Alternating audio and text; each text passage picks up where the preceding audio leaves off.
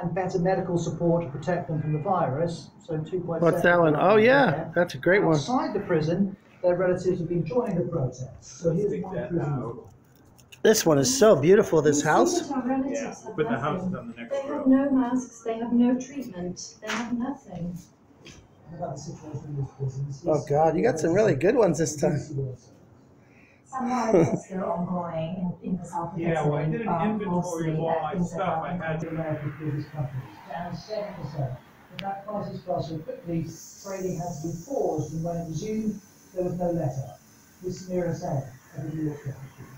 The last few weeks have been really dramatic, but really what happened today was something that I had never seen on the floor of the New York Stock Exchange. Shortly after opening, we saw that for all of New Rochelle. No community would welcome a challenge of this kind. They have demonstrated focus and concern that is proportionate to the issue before us, but has not strayed into panic or hysteria of a kind that is unjustified and self-defeating.